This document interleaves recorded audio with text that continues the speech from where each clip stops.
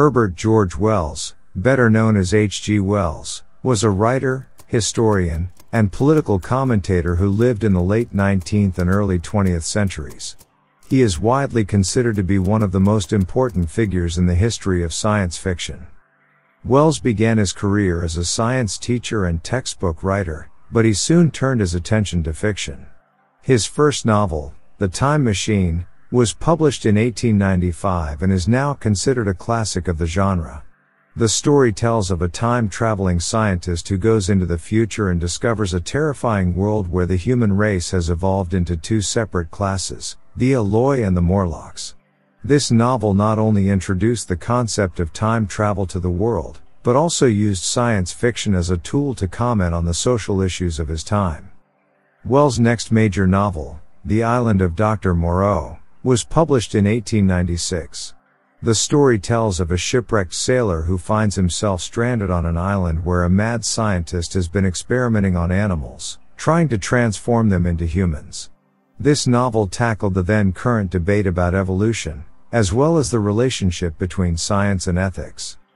Wells went on to publish many other influential works of science fiction, including The War of the Worlds, 1898, The Invisible Man, 1897, and The First Men in the Moon, 1901. All of these novels use the tropes and conventions of science fiction to comment on the pressing social and political issues of their time. Wells was not only a master of science fiction, but also a brilliant social commentator. He used his writing to address a wide range of issues, including imperialism, poverty, class struggle, and the dangers of totalitarianism. His work was a stark warning about the dangers of unchecked scientific progress and the potential for humanity to destroy itself. Wells' influence on the genre of science fiction cannot be overstated. He paved the way for countless other writers and his work continues to be read and studied to this day.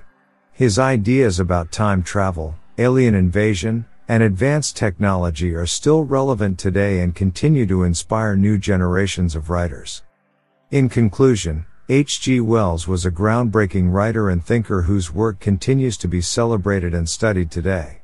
He was one of the first authors to use science fiction as a tool to explore social issues, and his influence can be seen in the works of many writers who came after him. He is truly the father of science fiction.